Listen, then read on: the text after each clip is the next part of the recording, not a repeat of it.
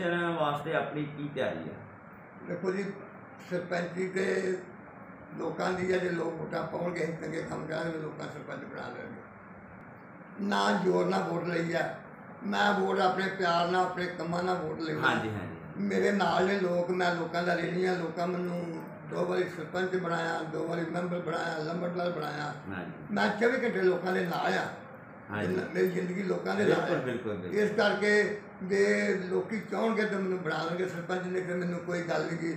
ਮੈਂ ਨਹੀਂ ਜੀ ਲੋਕ ਕੰਮ ਕਰਨਾ ਹਾਂਜੀ ਮੈਂ ਦੇ ਨੂੰ ਨਾ ਨਹੀਂ ਕਰਦਾ ਮੈਨੂੰ ਕੰਮ ਮੇਰੇ ਕਿਸੇ ਬੰਦੇ ਨੂੰ ਕੰਮ ਪੈਂਦਾ ਵਾ ਮੈਂ ਉਹਦਾ ਕੰਮ ਕਰਨਾ ਉਹਦੇ ਨਾਲ ਜਾਣਾ ਮੈਨੂੰ ਕੋਈ ਗੱਲ ਨਹੀਂ ਕੋਈ ਗੱਲ ਨਹੀਂ ਵੀ ਮੈਂ ਜੇ ਹਾਂ ਸਰਪੰਚੀ ਨੇ ਮੈਂ ਫੇਰ ਹੀ ਕੰਮ ਕਰਨੇ ਨਹੀਂ। ਮੈਂ। ਲੋਕਾਂ ਦੇ ਨਾਲ ਆ। ਮੈਂ ਅੱਧੀ ਰਾਤ ਲੋਕਾਂ ਨਾਲ ਜਾਣਾ ਦਿਨੇ ਵੀ ਜਾਣਾ। ਕਿਉਂਕਿ ਮੈਂ ਲੋਕਾਂ ਦਾ ਧੰਨਵਾਦੀ ਹਾਂ ਲੋਕਾਂ ਮੈਨੂੰ ਦੋ ਵਾਰੀ ਸੇਵਾਦਾਰ ਜੀ ਲੋਕਾਂ ਦੇ। ਹਾਂ ਮੈਨੂੰ ਸਰਪੰਚ ਬਣਾਇਆ ਸਰਪੰਚ ਬਣਨਾ ਬੜੀ ਵੱਡੀ ਗੱਲ ਹੈ ਵੱਡੀ ਗੱਲ ਆ। ਇੱਕ ਰਾਜਾ ਹੁੰਦਾ ਜੀ ਸਰਪੰਚ ਦਾ। ਦੋ ਵਾਰੀ। ਮੈਨੂੰ ਵੋਟਾਂ ਪਾ ਕੇ ਸਰਪੰਚ ਬਣਾਇਆ ਲੰਬੜਦਾਰ ਬਣਾਇਆ ਮੈਂਬਰ ਬਣਾਇਆ। ਮੈਂ ਲੋਕਾਂ ਦਾ ਸਦਾ ਹੀ ਆਪਣੇ ਪਿੰਡਿਆਂ ਦਾ ਦੇਣ ਨਹੀਂ ਦੇ ਸਕਦਾ। ਧੰਨਵਾਦ ਕਰਦਾ ਅੱਛਾ ਸਰ ਇਸ ਤੋਂ ਇਲਾਵਾ ਆਪਣੇ ਪਿੰਡ 'ਚ ਸਟਰੀਟ ਲਾਈਟਾਂ ਲੱਗੀਆਂ ਨੇ? ਨਹੀਂ ਸਾਡੇ ਹੁਣ ਇਹਨਾਂ ਹੁਣ ਲੱਗੀਆਂ ਨੇ? ਨਾ ਕੋਈ ਸਕੀਲ ਦਾ ਨਹੀਂ ਪਹਿਲਾਂ ਵੀ ਨਹੀਂ ਸੀ ਲੱਗੀਆਂ ਤੇ ਮਤਲਬ ਹੁਣ ਵੀ ਨਹੀਂ ਲੱਗੀਆਂ? ਨਹੀਂ ਲੱਗਦਾ ਠੀਕ ਹੈ ਤੇ ਸਰ ਆਪ ਜਿੱਦਾਂ ਪਿੰਡਾਂ ਵਿੱਚ ਪੰਚਾਇਤ ਘਰ ਜਾਂ ਜੰਜ ਘਰ ਧਰਮਸ਼ਾਲਾ ਹੁੰਦੀ ਹੈ ਤੇ ਆਪਣੇ ਪਿੰਡ ਦੇ ਵਿੱਚ ਕੋਈ ਜੰਜ ਘਰ ਜਾਂ ਧਰਮਸ਼ਾਲਾ ਜਾਂ ਪੰਚਾਇਤ ਘਰ ਹੈ? ਸਾਡੇ ਚੱਲ ਕਰ ਹੈਗਾ ਪਰ ਉਹ ਬੜਿਆਂ ਗਲਤ ਥਾਂ ਹੈ ਉਹਦੀ ਕਿਸੇ ਨੇ ਮੁੜ ਕੇ ਕੇਅਰ ਨਹੀਂ ਕੀਤੀ। ਜੰਜ ਘਰ ਹੈਗਾ ਵਾ ਇੱਕ ਸਾਈਆਂ ਦਾ ਤੇ ਇੱਕ ਜੱਟਾਂ ਦਾ ਵਾ। ਦੋਵਾਂ ਜੰਜ ਘਰਾਂ ਦੇ ਮੈਨੂੰ ਪੈਸੇ ਆਏ ਸੀ ਡੇਢ ਡੇਢ ਲੱਖ ਰੁਪਈਆ। ਅੱਛਾ ਜੀ। ਮੈਂ ਉਹਨਾਂ ਨੂੰ ਬੂਹੇ ਬਾਰੀਆਂ ਪਲਸਤਰ ਕਰਾਇਆ। ਸਾਈਆਂ ਦੀ ਚਾਰ ਦੀਵਾਰੀ ਕਢਾਈ ਬੂਹੇ ਬਾਰੀਆਂ ਲਵਾਏ। ਪਰ ਲੋਕ ਪਿੰਡਾਂ 'ਚ ਨਹੀਂ ਰਹਿਣ ਦਿੰਦੇ। ਮੈਂ ਉਹ ਆਪਣੇ ਹੱਥੀਂ ਸਾਰਾ ਕੁਝ ਕਰਾਇਆ ਹੈ ਅੱਛਾ ਇਹ ਵੀ ਤੁਸੀਂ ਆਪਣੇ ਹੀ ਸਰਪੰਚੀ ਦੇ ਦੌਰਾਨ ਕਰਾਇਆ? ਕਰਾਇਆ ਹਾਂਜੀ ਜੰਜ ਘਰ ਦਾ ਕੰਮ ਤੇ ਸਾਈਆਂ ਦੇ ਜੰਜ ਘਰ ਦਾ ਕਰ ਕਰਦਾ ਕੰਮ। ਠੀਕ ਹੈ ਜੀ ਠੀਕ ਹੈ। ਤੇ ਅੱਛਾ ਸਰ ਆਪਣੇ ਇਸ ਤੋਂ ਇਲਾਵਾ ਆਪਣੇ ਫਲੈਸ਼ਾਂ ਦੇ ਜਿਹੜੇ ਪੈਸੇ ਆਏ ਸੀ ਹਾਂਜੀ। ਤੇ ਉਹ ਤੁਸੀਂ ਕਿੰਨੀਆਂ ਫਲੈਸ਼ਾਂ ਬਣਵਾਈਆਂ? ਉਦੋਂ ਸਾਡੇ ਚੋਣ ਜਾਬਤਾ ਲੱਗ ਗਿਆ ਸੀ ਪਰ ਮੈਂ 100 ਕੁ ਫਲਸ਼ ਬਣਾ ਹੀ ਗਿਆ। ਬਣਾ ਅੱਛਾ ਬਣਾ ਹੀ ਦਿੱਤੀ ਹਾਂ ਫਿਰ। 100 ਫਲਸ਼ ਮੈਂ ਬਣਾ ਵੈਰੀ ਦਿੱਤੀ।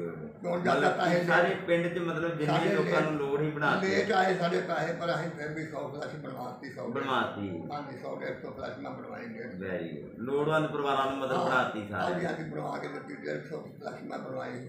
ਠੀਕ ਪਰ ਪੈਸੇ ਨਹੀਂ ਪੂਰੇ ਸਾਡੇ ਆਏ। ਚੋਣ ਜਾਬਤਾ ਲੱਗ ਗਿਆ ਤੇ ਫਿਰ ਕੰਮ ਰਹਿ ਗਿਆ। ਕੰਮ ਰਹਿ ਗਿਆ। ਹਾਂਜੀ ਪੈਸੇ ਲੇਟ ਆਏ। ਠੀਕ ਹੈ। ਤੇ ਅੱਛਾ ਜੀ ਆਪਣੇ ਕੱਚੇ ਕੋਠਿਆਂ ਦੇ ਪੈਸੇ ਵੀ ਆਏ ਸੀ ਕੱਚੇ ਮਕਾਨਾਂ ਦੇ ਜਾਂ ਸਾਡੇ- ਰਿਪੇਅਰ ਵਾਸਤੇ ਬਣਾਉਣ ਵਾਸਤੇ ਜਾਂ ਰਿਪੇਅਰ ਵਾਸਤੇ? ਜਦੋਂ ਮੈਂ ਪਹਿਲੀ ਵਾਰੀ ਸਰਪੰਚ ਬਣਿਆ ਉਦੋਂ ਸਾਡੇ ਕੱਚੇ ਕੋਠਿਆਂ ਦੇ ਸਿਰਫ ਸਾਥੀ ਦੇ ਦੋ ਘਰ ਸੀ ਉਹਨਾਂ ਨੂੰ ਪੈਸੇ ਆਏ ਹਨ ਉਦੋਂ ਬਾਅਦ ਸਾਡੇ ਪੈਸੇ ਨਹੀਂ ਆਏ ਕੋਈ ਲੱਗ ਗਏ ਅੱਛਾ ਅੱਛਾ ਦੋ ਹੀ ਮਤਲਬ ਲੋਕਾਂ ਦੇ ਪਿੰਡ ਵਾਸੀਆਂ ਦੇ ਪੈਸੇ ਆਏ ਨੇ ਤੇ ਉਹ ਸਰ ਬਣਾਉਣ ਵਾਸਤੇ ਆਏ ਸੀ ਕਿ ਰਿਪੇਅਰ ਵਾਸਤੇ ਨਹੀਂ ਉਹਨਾਂ ਦੇ ਇੱਕ ਦੇ ਰਿਪੇਅਰ ਵਾਸਤੇ ਆਏ ਸੀ ਇੱਕ ਦੇ ਮਕਾਨ ਬਣਾਉਣ ਵਾਸਤੇ ਆਏ ਸੀ ਉਹਨਾਂ ਨੂੰ ਚੈੱਕ ਦਿੱਤੇ ਕਾਲੋ ਸਾਹਿਬ ਨੇ ਅੱਛਾ ਅੱਛਾ। ਦੋਨਾਂ ਦੇ ਮਤਲਬ ਇੱਕ ਦੇ ਬਣਾਉਣ ਵਾਸਤੇ ਤੇ ਇੱਕ ਦੇ ਰਿਪੇਅਰ ਵਾਸਤੇ। ਹਾਂਜੀ ਹਾਂਜੀ ਠੀਕ ਹੈ। ਤੇ ਅੱਛਾ ਜੀ ਹੋਰ ਹੁਣ ਆਪਾਂ ਗੱਲ ਕਰੀਏ ਤੇ ਆਪਣੇ ਪਿੰਡ ਦੇ ਵਿੱਚ ਕੋਈ ਡਿਸਪੈਂਸਰੀ ਹੈ ਨਹੀਂ ਸਾਡੇ ਪਿੰਡ ਕੋਈ ਨਹੀਂ ਤੇ ਫਿਰ ਸਰ ਕਿੱਥੇ ਜਾਂਦੇ ਤੁਸੀਂ ਅਸੀਂ ਲਾਗੇ ਚੰਨ ਵਾਲੇ ਉੱਥੇ ਜਾਂਦੇ ਆ। ਧੰਨਵਾਦ ਤੇ ਦੂਰ ਨਹੀਂ ਪੈਂਦਾ ਸਰ? ਦੂਰ ਤੇ ਪੈਂਦਾ ਪਰ ਬੜੀ ਵਾਰੀ ਕਿਹਾ ਕੋਈ ਦਿੰਦਾ ਹੀ ਨਹੀਂ। ਤੇ ਇਹਦੀ ਸਰ ਤੁਸੀਂ ਜਦੋਂ ਸਰਪੰਚ ਬਣੇ ਸੀ ਉਦੋਂ ਕਦੀ ਮਤਾ ਨਹੀਂ ਪਾਇਆ ਇਹਦਾ? ਪਾਇਆ ਹੀ ਮਤਲਬ ਵੀ ਨਹੀਂ ਬਣ- ਬਣੀ ਨਹੀਂ।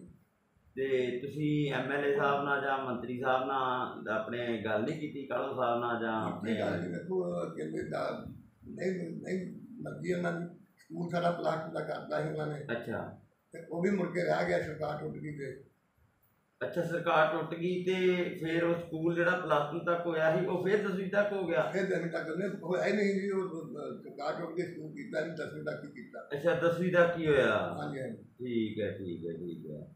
ਤੇ ਸਕੂਲ ਤੇ ਸਰ ਹੋਣਾ ਚਾਹੀਦਾ ਹਾਂ, ਪਲੱਸ 2 ਸਕੂਲ ਤੱਕ ਕਿਉਂਕਿ ਬੱਚੇ ਜਿਹੜੇ ਨੇ ਹੁਣ ਏਡੀ ਦੂਰ ਮੰਨ ਲਓ ਜਾਂਦੇ ਨੇ ਕਿੱਥੇ ਜਾਂਦੇ ਨੇ ਜੀ ਬੱਚੇ ਆਪਣੇ ਪੜ੍ਹਨ ਬੱਚੇ ਚਾਹੇ ਤਾਰਾਗੜ੍ਹ ਜਾਂਦੇ ਨੇ ਚਾਹੇ ਕੋਲ ਹੀ ਜਾਂਦੇ ਨੇ ਓਹੋ ਜਾਂਦੇ ਨੇ ਦਰਗਾਹ ਤੇ ਜਿਹੜੇ ਮੰਨ ਲਓ। ਗਰੀਬ ਬੱਚੇ ਨੇ ਲੜਕੀਆਂ ਨੇ ਤੇ ਜਿਨ੍ਹਾਂ ਕੋਲ ਕੋਈ ਸਾਧਨ ਨਹੀਂ ਹੈਗਾ ਪੜਨ ਵਾਸਤੇ ਜਾਂ ਪੜਨ ਜਾਣ ਵਾਸਤੇ ਤੇ ਮੰਨ ਲਓ ਪਿੰਡ ਦੇ ਵਿੱਚ ਸਕੂਲ ਹੋਵੇ ਤੇ ਉਹ ਪਿੰਡ ਹੀ ਪੜ ਸਕਦੀਆਂ ਪਰ ਨਾਲ ਵੇਖੋ ਲੜਕੀਆਂ 'ਤੇ ਬੜੀ ਪ੍ਰੋਬਲਮ ਹੈ ਲੜਕੇ ਪ੍ਰੋਬਲਮ ਆ। ਪ੍ਰੋਬਲਮ ਆ। ਅੱਜ ਕੱਲ ਦਾ ਜ਼ਮਾਨਾ ਜਿਹੜਾ ਸਰ ਇਹ ਤੁਸੀਂ ਦੇਖ ਹੀ ਰਹੇ ਜੇ ਕਿਦਾਂ ਦਾ। ਹਾਂਜੀ ਤੇ ਦੂਰ ਜਾਣਾ ਵੈਸੇ ਵੀ ਲੜਕੀਆਂ ਵਾਸਤੇ ਅੱਜ ਕੱਲ ਸੇਫ ਨਹੀਂ ਆ। ਹਾਂਜੀ ਤੇ ਇਸ ਕਰਕੇ ਪਿੰਡ 'ਚ ਹੀ ਹੋਵੇ ਸਕੂਲ ਤੇ ਜ਼ਿਆਦਾ ਬੈਟਰ ਆ। ਹਾਂਜੀ ਹਾਂਜੀ। ਤੇ ਇਹ ਪਲੱਸ 2 ਤੱਕ ਹੋ ਜਾਣਾ ਚਾਹੀਦਾ ਸੀ। ਵਧੀਆ ਗੱਲ ਹੈ। ਇਹ ਬਹੁਤ ਵਧੀਆ ਤੁਸੀਂ ਹੀ ਸਾਹਮਣੇ ਕਾਲਾ ਫਤਿਹਗੜ੍ਹ ਸਾਹਿਬ ਆ ਕੇ ਆਏ। ਫਤਿਹਗੜ੍ਹ ਸਕੂਲ ਪਰ ਮੁੜ ਕੇ ਹੋਇਆ ਹੀ ਨਹੀਂ। ਹੋਇਆ ਨਹੀਂ। ਇਲੈਕਸ਼ਨ ਠੀਕ ਹੈ ਇਲੈਕਸ਼ਨ ਆ ਗਈ ਨਾ। ਠੀਕ ਹੈ। ਤੇ ਅੱਛਾ ਸਰ ਹੁਣ ਆਪਾਂ ਗੱਲ ਕਰਦੇ ਹਾਂ ਇਲੈਕਸ਼ਨ ਦੇ ਸੰਬੰਧਤ। ਹਾਂਜੀ। ਤੇ ਇਹ ਇਲੈਕਸ਼ਨ ਜਿਹੜੀ ਆ ਰਹੀ ਹੈ 2022 ਦੀ ਤੇ ਇਹਦੇ ਵਿੱਚ ਸਰ ਐਤਕਾਂ ਕਾਫੀ ਜ਼ੋਰ ਲੱਗਣਾ ਤੁਹਾਡਾ ਵੀ। ਕਿਉਂਕਿ ਸਰ ਪਾਰਟੀਆਂ ਇੱਕ ਦੋ ਹੋਰ ਨਵੀਆਂ ਵਿੱਚ ਆ ਗਈਆਂ ਨੇ। ਇੱਕ ਤੇ ਸਰ ਆਮ ਆਦਮੀ ਪਾਰਟੀ ਜਿਹੜੀ ਆ ਉਹ ਵੀ ਸਰ ਝਾੜੂ ਚੁੱਕੀ ਫਿਰਦੇ ਆ ਆਪਣਾ। ਤੇ ਇੱਕ ਮੇਰੇ ਖਿਆਲ ਨਾਲ ਸਾਡੇ ਸੂਤਰਾਂ ਕੋਲੋਂ ਸਾਨੂੰ ਪਤਾ ਲੱਗਾ ਹੈ ਕਿ ਕਿਸਾਨ ਜਿਹੜੇ ਨੇ, ਉਹ ਵੀ ਆ ਰਹੇ ਨੇ। ਉਹ ਵੀ ਇਲੈਕਸ਼ਨ ਲੜਨਗੇ ਕਿਸਾਨ ਦੇ ਤੇ ਆਪਣਾ ਐਤਕਾ ਕਾਫੀ ਮਤਲਬ ਕਿ ਜਿਹੜਾ ਵਰਕਰਾਂ ਦਾ ਵੀ, ਸਰਪੰਚਾਂ ਦਾ ਵੀ ਤੇ ਲੀਡਰਾਂ ਦਾ ਵੀ, ਸਾਰਿਆਂ ਦਾ ਮਤਲਬ ਕਿ ਕਾਫੀ ਐਤਕਾ ਜ਼ੋਰ ਲੱਗੂਗਾ। ਤੇ ਤੁਸੀਂ ਪੁਰਾਣੇ ਵਰਕਰ ਜੇ, ਪੁਰਾਣੇ ਸਰਪੰਚ ਜੇ, ਤੇ ਤੁਸੀਂ ਮੈਨੂੰ ਇਹ ਦੱਸੋ ਕਿ ਤੁਸੀਂ ਆਪਣੇ ਪਿੰਡ ਚੋਂ ਕਿੰਨੀ ਅਕਾਲੀ ਦਲ ਨੂੰ ਵੋਟ ਪਾਓਗੇ ਕਿ ਜਿਹੜਾ ਤੁਹਾਡਾ ਬੂਥ ਹੈ ਉਹ ਕਿੰਨੇ ਕੁ ਪਰਸੈਂਟ ਤੇ ਜਿੱਤੇਗਾ? ਦੇਖੋ ਜੀ ਇਹ ਤੇ ਲੋਕਾਂ ਦੀ ਮਰਜ਼ੀ ਆ ਪਰ ਹਾਲਾਤ ਮੁਤਾਬਕ ਜਿਹੜਾ ਸਾਡਾ ਬੂਥ ਹੈ ਜਿੱਤੇਗਾ ਜੀ। ਜਿੱਤੇਗਾ ਜੀ। ਤੇ ਅੱਗੇ ਸਰ ਕਿੰਨੀ ਵਾਰੀ ਜਿੱਤਿਆ ਅਕਾਲੀ ਦਲ ਦਾ ਬੂਥ? ਅੱਗੇ ਹਰ ਵਾਰ ਜਿੱਦਾਂ ਰਿਹਾ ਪਿਛਲੀ ਵਾਰ ਸਾਡੇ ਬੰਦੇ ਸਾਡੇ ਟੁੱਟ ਗਏ ਕੋਈ ਗੁੰਮਰਾਹ ਹੋ ਗਏ। ਅੱਛਾ। ਸਾਡੇ ਅਕਾਲੀ ਦਲ ਦੇ ਬੰਦਿਆਂ ਨੇ ਉਹਨਾਂ ਬੰਦਿਆਂ ਨੂੰ ਖੇਡਤਾ ਤੇ ਅਸੀਂ 30 ਵੋਟਾਂ ਦੇ ਹਾਰ ਗਏ। ਅੱਛਾ ਅੱਛਾ ਅੱਛਾ। ਆਪਣੇ ਬੰਦਿਆਂ ਨੇ ਮਤਲਬ ਧੋਖਾ ਕਰਤਾ। ਧੋਖਾ ਕਰਤਾ। ਠੀਕ ਹਾਂਜੀ ਹੈ ਕਿਉਂਕਿ ਸਾਡੇ ਅਕਾਲੀ ਦਲ ਦੇ ਇੱਥੇ ਬੰਦੇ ਆਏ ਇੱਕ ਸ਼੍ਰੋਮਣੀ ਕਮੇਟੀ ਮੈਂਬਰ ਸੀ ਉਹਨੇ ਹਰਾਤੇ ਸਾਰੇ ਬੰਦੇ। ਠੀਕ ਠੀਕ ਉਹਨੇ ਬੰਦੇ ਰਾਤ ਨੂੰ ਭੰਨ ਕੇ ਜੋ ਸ਼੍ਰੋਮਣੀ ਕਮੇਟੀ ਦੇ ਮੈਂਬਰ ਨੇ? ਹਾਂਜੀ ਹਾਂਜੀ।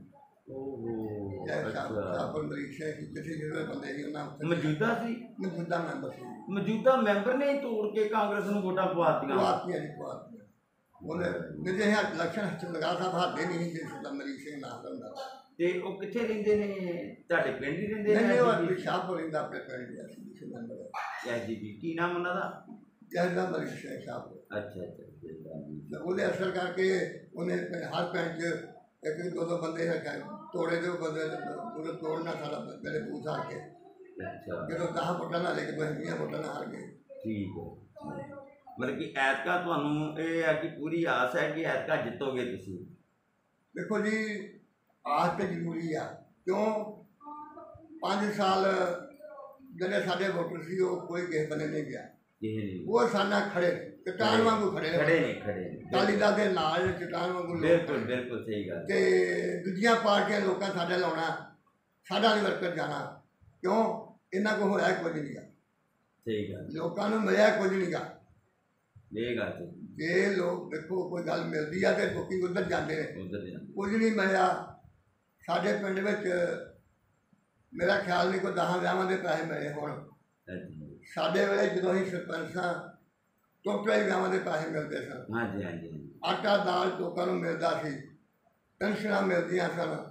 ਸੋ ਇਹ ਕਰਕੇ ਲੋਕ ਜਿਹੜੇ ਨੇ ਕਾਂਗਰਸ ਤੋਂ ਦੁਖੀ ਨੇ। ਹਾਂਜੀ ਹਾਂਜੀ। ਤੇ ਉਹ ਵੀ ਵੋਟਾਂ ਜਿਹੜੀਆਂ ਐਤਕਾਂ ਅਕਾਲੀ ਦਲ ਨੂੰ ਹੀ ਪੈਣਗੀਆਂ। ਅਕਾਲੀ ਦਲ ਨੂੰ ਪੈਣਗੀਆਂ। ਤੇ ਕੈਪਟਨ ਕੋ ਹੋਈ। ਇਹ ਗੱਲ ਸਹੀ ਹੈ। ਕੈਪਟਨ ਲੋਕ ਆਗੇ ਹੀ ਘਰ ਘਰ ਨੌਕਰੀ ਦੇ ਮਤਲਬ ਝਾਸੇ 'ਚ ਕਰਜ਼ਾ ਮਾਫੀ ਦੇ ਝਾਸੇ 'ਚ ਉਹ ਕੋਈ ਗੱਲ ਨਹੀਂ ਬਣੀ। ਨਾ ਕਿਸੇ ਨੂੰ ਨੌਕਰੀ ਮਿਲੀ ਹੈ ਤੇ ਨਾ ਕਿਸੇ ਦਾ ਕਰਜ਼ਾ ਮਾਫ ਹੋਇਆ। ਮੇਨ ਦੋ ਗੱਲਾਂ ਇਹ ਨੇ। ਤੇ ਲੋਕ ਜਿਹੜੇ ਨੇ ਹੁਣ ਉਹ ਲੋਕਾਂ ਲਵਾ ਦੇ ਪਾਉਣਾ ਨਹੀਂ ਵੋਟ ਦੇ ਟਾਈਮ ਦੱਸਣਾ ਵੀ ਕੁੱਤਾ ਕਿੱਥੇ ਪਾਉਣੀਆਂ ਨੇ। ਜੀ ਹਾਂ ਬਿਲਕੁਲ ਬਿਲਕੁਲ। ਇਸ ਕਰਕੇ ਸਰਦਾਰ ਪ੍ਰਕਾਸ਼ ਸਿੰਘ ਬਾਦਲ ਨੇ ਜਿਹੜੀ ਵਾਰ ਕੋਈ ਗੱਲ ਕੀਤੀ ਉਹ ਪੂਰੀ ਕੀਤੀ। ਬਿਲਕੁਲ। ਤੇ ਅੱਛਾ ਸਰ ਐਮਐਲਏ ਦੀ ਇਲੈਕਸ਼ਨ ਜਿਹੜੀ ਆ ਉਸ ਤੋਂ ਬਾਅਦ ਫਿਰ ਸਾਲ ਡੇਢ ਸਾਲ ਬਾਅਦ ਸਰਪੰਚੀ ਦੀ ਇਲੈਕਸ਼ਨ ਆ ਤੇ ਮੋਰਚੇ ਲਾਉਂਦੇ ਸੀ ਉਦੋਂ ਤੋਂ ਉਹਨਾਂ ਦੇ ਨਾਲ ਅੱਜ ਤੱਕ ਤੁਸੀਂ ਐ ਖੜੇ ਜੇ ਚਟਾਨ ਵਾਂਗੂ 15 ਸਾਲਾਂ ਦੀ ਉਮਰ ਤੋਂ ਲੈ ਕੇ ਹੁਣ ਕਿੰਨੀ ਉਮਰ ਹੋ ਗਈ ਸਰ? ਹੁਣ ਮੇਰੀ 66 ਸਾਲ ਉਮਰ ਹੋ 66 ਸਾਲ 66 ਸਾਲ ਦੀ ਉਮਰ ਹੋ ਗਈ ਤਾਂ ਵੀ ਹਾਲੇ ਵੀ ਤੁਸੀਂ ਅਕਾਲੀ ਦਲ ਦੇ ਨਾਲ ਜੁੜੇ ਜੇ। ਤੇ ਅਸੀਂ ਬਹੁਤ ਤੁਹਾਡੀ ਰਿਸਪੈਕਟ ਦੇ ਨਾਲ ਆਪਣੇ ਥੈਂਕ ਯੂ ਕਰਦੇ ਹਾਂ ਸਰ। ਤੁਹਾਡਾ ਬਹੁਤ ਬਹੁਤ ਧੰਨਵਾਦ ਕਰਦੇ ਹਾਂ। ਆਪਣੇ ਚੈਨਲ ਵੱਲੋਂ ਵੀ ਤੇ ਆਪਣੇ ਵੱਲੋਂ ਵੀ। ਧੰਨਵਾਦ ਸਰ, ਬਹੁਤ ਬਹੁਤ ਤੁਹਾਡਾ। ਤੇ ਮੈਂ ਕੁਲਵੰਤ ਸਿੰਘ ਢਿੱਲੋਂ ਪੰਜਾਬ ਫੋਕਸ ਚੈਨਲ ਤੋਂ ਦੇਖ ਰਹੇ ਦਰਸ਼ਕਾਂ ਦਾ ਬਹੁਤ ਬਹੁਤ ਧੰਨਵਾਦ ਕਰਦਾ ਹਾਂ।